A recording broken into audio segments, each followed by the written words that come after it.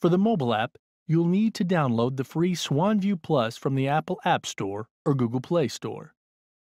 Now that you've downloaded the app, go ahead and tap on its icon to open it and then swipe through each screen of the tutorial. Then tap Let's Start. Then tap Menu, then Devices. In the Devices menu, tap the plus symbol in the top right corner to add your DVR. Then tap the QR code button and use your smartphone's camera to scan the QR sticker on the DVR. This automatically populates the UID box. Enter a device name in the alias box, then enter the username and password for your DVR and then save your settings. Lastly, tap Start Live View and then you will see your cameras on screen. You can now access your cameras from anywhere. The menu is at top left and gives access to a number of options, such as Live View, Remote Playback, adding or editing a device, or changing your password. In the top right you will find the camera list, which allows you to enable and disable available cameras. Double tap on a camera to make it full screen, giving you the option of taking a snapshot on your mobile. Double tap again to return to 4-camera display. The group indicator shows which group of cameras you're using. Swipe left or right to change the group.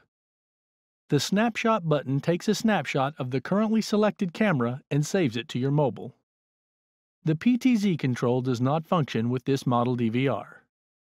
The extended menu function allows you to access additional options. The stream settings allows you to access video quality menu, change resolution, frame, and bitrate here. Don't forget that using the higher settings will use more bandwidth. Tap Confirm to save your settings. Stop All Playback stops the live view for all cameras. Tap it again to restart the live view for all cameras.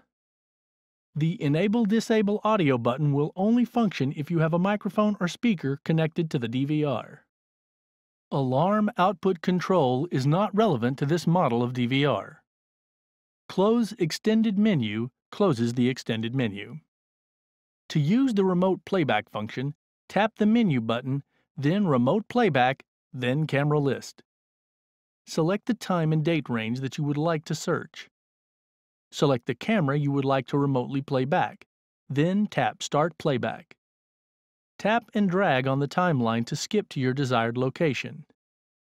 Yellow vertical lines indicate the starting point, and blue bars indicate a recording occurrence.